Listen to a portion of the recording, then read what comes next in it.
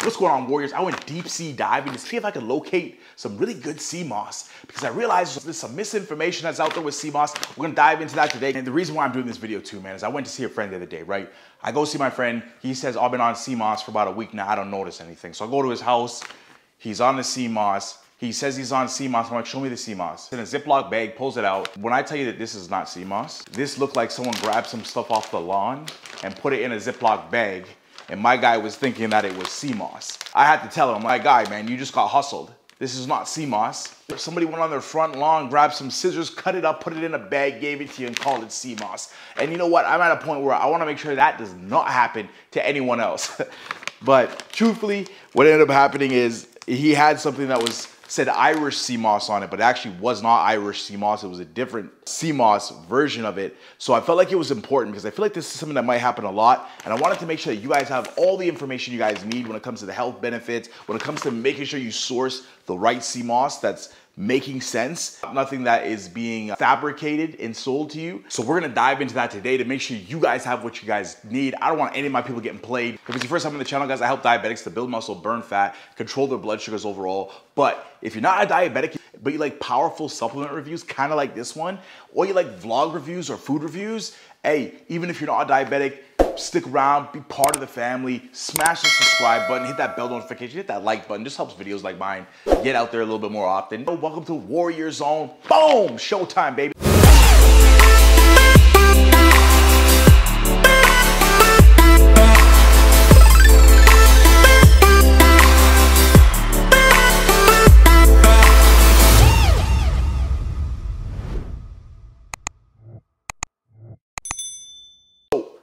Get this sea moss? Now, sea moss is a type of seaweed, but not all seaweeds are sea moss. And sea moss and seaweeds grow and I'm just, we're gonna break this down, guys, so you know classifications, so it makes sense for you in terms of what you're grabbing. Seaweeds are just a diverse group of marine plant life that grow underwater, right? They also grow on rocks as well, rivers, lakes. And so it's a wide range of this plant life that grows. And one of the ones that we're probably most familiar with that you've heard of is Irish moss or Irish sea moss. Now, there's a lot of sea moss out there that has been labeled as Irish sea moss, but it's not actually Irish sea moss. Seaweeds have been used in many different cultures around the world. For you also see seaweed being used in Japanese medicine, cuisine, Chinese medicine, cuisine, and even across the Caribbean for thousands of years, Ayurvedic medicine. But the most popular sea moss people are probably familiar with is Irish sea moss. And so Irish sea moss grows on the coast of the Atlantic, and you can find it in more temperate environments like Ireland. Now, with Irish sea moss, there's actually a famine that happened in Ireland between 1845 and 1852. What the Irish did was use the Irish sea moss to help them to overcome starvation and disease that would, was happening due to the potato famine that they had.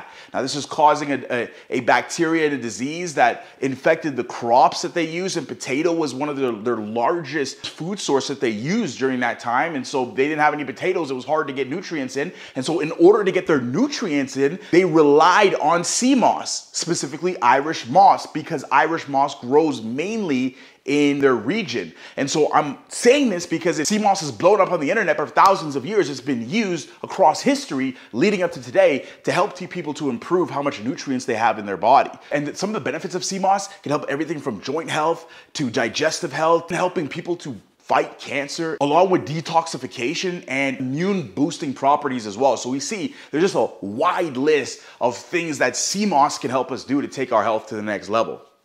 So even though there's a wide range of sea mosses that are out there, there's two that we're gonna talk about today because they're probably the most prominent that you're gonna hear about and you're gonna see. It's important to be able to distinguish between the two so you know what you're getting so you don't feel like you've been duped and maybe the one that you have is not necessarily what's being labeled on the package. Hey, what's up, buddy? Nice of you to join the film. Do you want some sea moss? There's three different types of seaweeds and sea moss falls into one of these categories. So we have green algae, which is called chlorophyta. We've got brown algae, which is Phaeophyceae. Then you've also got red algae, which is called Rhodophyta. And within this category or this classification called Rhodophyta, and this consists of about 70% of the algae that you're gonna find is grouped in this Rhodophyta category. And this Rhodophyta category includes sea mosses like Irish sea moss, and it also includes another sea moss we're gonna talk about today, which is called Gracilaria. Key one that we're gonna talk about today is our red algae. And so a red algae again includes the Gracilaria and that, that we'll talk about today. And this is actually what this is right here. It's the genus uh, Gracilaria, and Gracilaria would be called the genus, and then under that you've got different species of Gracilaria. The same thing with Irish sea moss. Irish sea moss, the genus of that is called Chondrus. And so that's just the category of the classification for Irish sea moss. Now, within that category, you've got different species of Irish sea moss. So a lot of times people don't actually know what types of Irish sea moss they're actually getting. The main genus we're talking about is Chondrus, and the main species is Chondrus crispus, right? So you see, that's the species of what the most prominent one is when it comes to Irish sea moss. Now, when it comes to Gracilaria, depending on where you're getting the Gracilaria from will determine that species. Now, the one that I have is from St. Lucia. So that means that under the genus Gracilaria, we have the species Gracilaria edulis. And so this is what this is today. This is what I sampled was the Gracilaria edulis. And so we'll dive into what I thought about it, what it does. Can you please not eat the sea moss? You've already eaten today. Do better. Do better, man. To show you guys a little bit more what this actually looks like because again, a lot of times what you guys are gonna find, please don't touch the sea moss. A lot of times what you guys are gonna find, a lot of sea moss is just labeled sea moss and it's assumed that it's just Irish sea moss, right? When you have so many different variations of some of these sea mosses and each one might afford something slightly different, for example, in terms of different qualities, different types of vitamins and minerals and nutrients. Now, having said that, the bigger picture is always most important with these and regardless, the sea mosses that you're gonna have are gonna have antioxidants, phytonutrients, polyphenols in them that are designed to help your body to function better and reduce things like inflammation. Inflammation is a main driver for a lot of different diseases, even though we've categorized them differently. If you can combat that, you can combat a lot of other diseases as well. So Irish sea moss is a little bit more flattened, fanned out. It's gonna have more of a reddish color to it. And then the scent of it, usually Irish sea moss is gonna have a more powerful scent. It's almost like, feels like it's gonna slap you in the face type of scent, right? And so that's why they recommend if you're making a gel, add some lime to that to help to cut that smell down. Now, something like this is what I have, which is a Gracilaria edulis is where this is coming. Again, we know that because it's coming from St. Lucia, so that's the species of it, but with the genus Gracilaria. And where it's a little bit different is I'll pull this out so you guys can see it. This sea moss actually is a little bit longer, more cylindrical, for example. So you can see the difference of this versus an Irish sea moss. You know, you know if a company's being authentic or not. They really know their product or they don't know their product. If they're calling it sea Irish sea moss and it's actually uh, Gracilaria.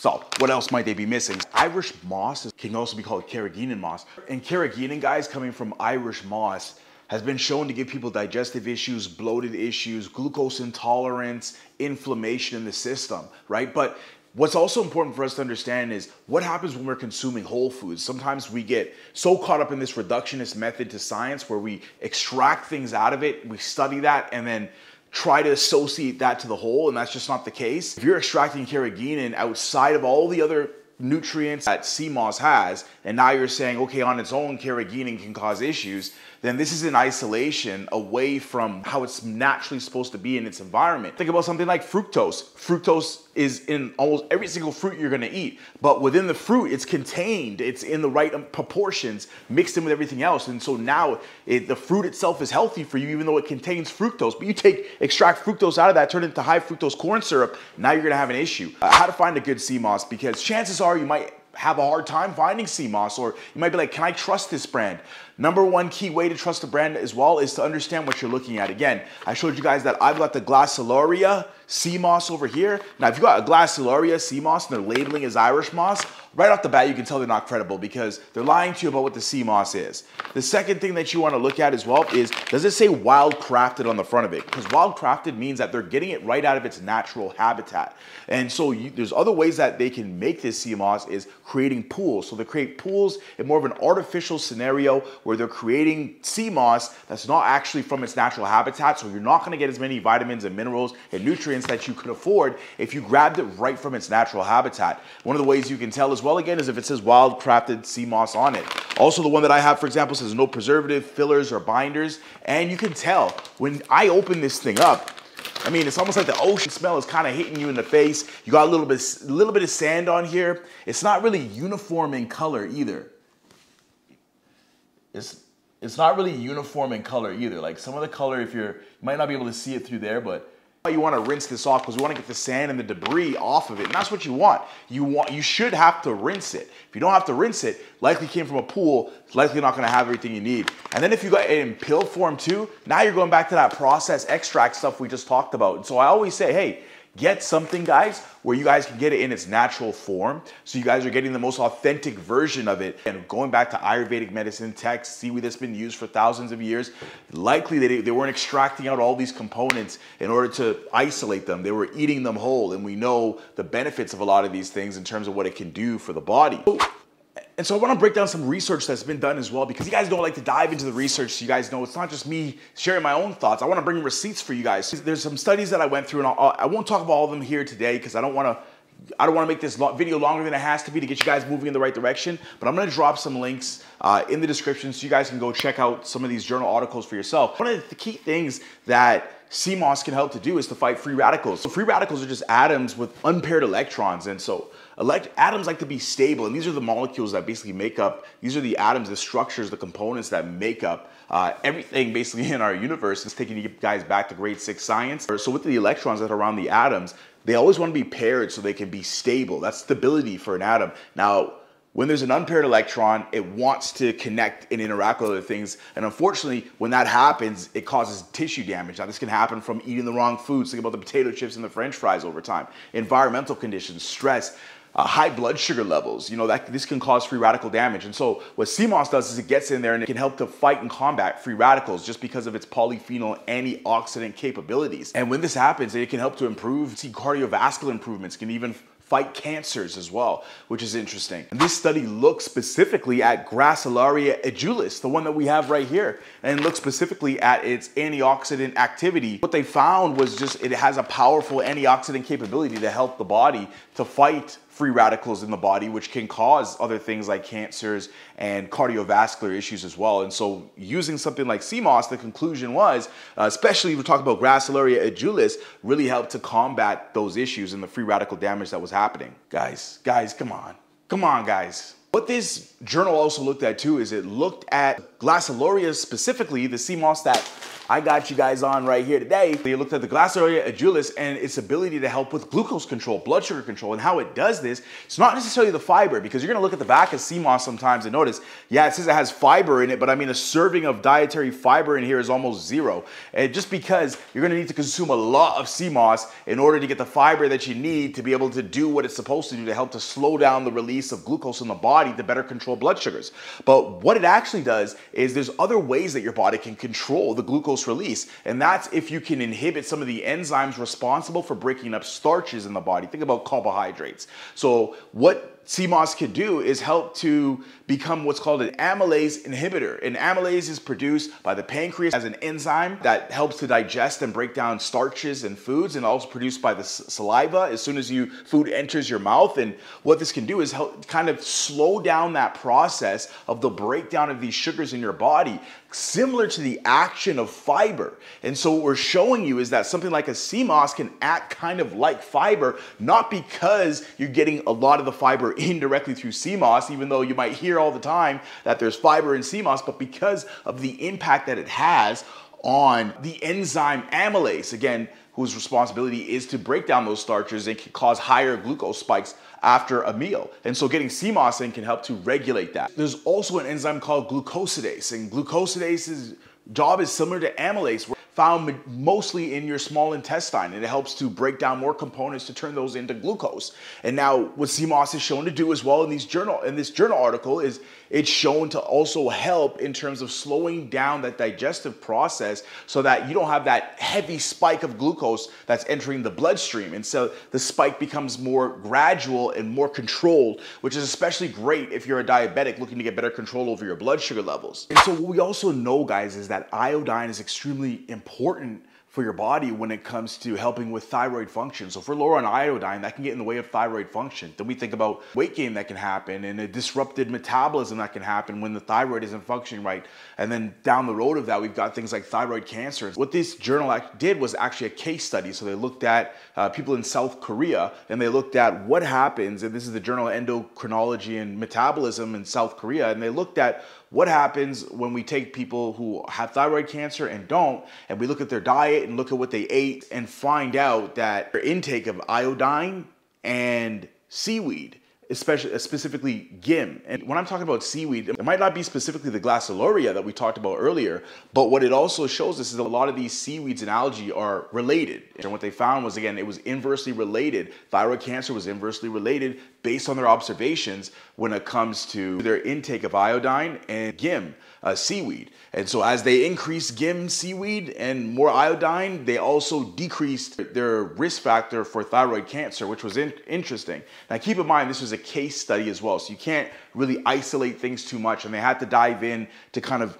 Uh, pick things apart and make these conclusions, but you can't really necessarily get causality out of a case study. But you can say it's interesting that we see that we increase the seaweed and the iodine, we're decreasing someone's susceptibility to the thyroid cancer. And so we're seeing there's a lot of study, a lot of materials out there that help us, especially with profound issues like cancer. And there's actually another journal article too, which looks dives deep on the Gracilaria edulis and talks about bioactive components that can help fight cancer. And so what they found was when they dove deep on the polyphenols that we talked about, antioxidants, you remember, the, the, the hallmarks of this is a lot of polyphenols, antioxidants to help to reduce inflammation in the body, prevent things like cardiovascular disease, we're talking diabetes, hypertension, high blood pressure. A lot of these diseases and issues that we go through are all stemming from similar issues of high inflammation in the body. And so if you can heal that and you can de-stress the body, you can heal a lot of issues that happen. And what they found when they studied the Gracilaria edulis is they found that the tumor suppressive proteins went up to help to suppress tumors that might be in the body. What they also found was cell apoptosis went up, so helping program cell death for cells that might be forming in a way that they shouldn't be. Think about things like cancer, just weird cell formations that grow and grow and develop. And so when you have more increased cell apoptosis, cells that aren't functioning right or not growing the way that they should, then can, in a sense, kill themselves to allow you to be able to thrive more effectively. We're seeing a lot of different journal articles that are talking about the bioactive components of things like moss. Uh, it's been documented not only for just thousands of years, but even some recent journal articles here that I've talked about today. I'm also going to drop more in the comments as well, just to, again, receipts for the things that I'm saying to you guys. And, you know, one of the things that I noticed while being on it for 30 days, especially this one specifically, is very easy to use, and the best way to use this, guys, is in a gel form. So I can actually drop a drop a comment. If you guys want me to do a moss gel video, I'll probably just do it anyway. I'll do a gel video, but this is a gel right here. So I use this. I have about a tablespoon or two of this. Uh, you know, every morning I have that fasted, and I make that using the sea moss over here. And bada bing, bada boom, you're good to go. But you can mix that in with sauces. You can mix it in with uh, protein shakes. You name it, you're good to go. Uh, one of the things I noticed, man, for me with the moss, my focus is a lot better, improved energy, uh, blood sugar control. I didn't really notice too many crazy things with my blood sugar, but it's been pretty in check recently. So um, that's what it is. I mean, I do notice that when I start my day with something clean, and maybe it's just clean stuff that I start my day with, my blood sugars are better throughout the day. I feel better throughout the day as well. And so starting with my day with something like moss just helps me feel better throughout the day because I've already laid the foundation of something that I know is gonna benefit my body, not just because I'm saying it, but because I'm verifying, I'm backing that with research, but it's also stuff that I'm feeling as well. It helps with my clarity of mind, my focus, uh, energy levels, and even potentially the glucose control. Again, for me, I can't 100% say glu glucose control because uh, my blood sugars have been pretty good. So was it the moss or was it the fact that I'm just eating clean? It is what it is. But definitely something that now I have it in the morning, almost like a multivitamin. Think about preventive measures, like I talked about with the thyroid cancer that happened here. We can take something like sea moss and just use it as preventive measures, almost like having a multivitamin that's just straight from nature. Because we also know that moss has a significant amount of vitamins and minerals that your body needs and requires. And so if you're low on a lot of things, having a couple tablespoons of this in the morning can help you to get, give your body the vitamins and minerals that might be missing. So for me, guys, uh, sea, this sea moss for me, guys, give me sea moss a solid a solid 8 for me out of 10. For me, the moss, solid 8 out of 10. For me, that's an A, uh, just because of what it can do. I haven't seen one study that tells me that moss is bad for you, and I've been on this one specific for 30 days. I'll put a link in the description as well if you guys want to try this one out like what I did. Another side note I'm to give you guys, if you guys actually have a scoop of Shilajit with this, you've got fulvic acid in here, and I talk about this a lot in my other Shilajit videos. That helps your body to absorb vitamins, absorb nutrients, absorb minerals even better, and so it can actually help you to just take this whole thing to another level. So if that's something you're interested in too, guys, I'll just leave the Shilajit description in the link in my uh, the description of this video. If you guys haven't got on Shilajit yet, man, check out my videos, guys. I don't want to see you guys miss out on any of that. A lot of people have been asking me for some great sea moss, and again, wild crafted. Uh, we're getting this direct from St. Lucia as well. So none of that pool shit or the extracts and pills. Again, you want to avoid the pills as well because the pills you're getting a powdered form. It's going to be watered down. You're not going to get the right, the raw, authentic sea moss, and that's what you guys want if you want to take things to the next level with this. All right, so that's just my opinion, guys. Hey, it is what it is. Everyone has their opinion based on the research I've done. It's way to go. I'm gonna do a gel video too, so you guys know what's up with this gel over here that I make that I have uh, almost every morning. Two tablespoons that in the morning, one to two tablespoons in the morning. Sometimes mix it in my shakes. Uh, and so I'll do a video on how you guys can make the gel. It's so simple, guys. I promise you, it's, it's nothing. And the, probably the easiest way that you can consume this as well.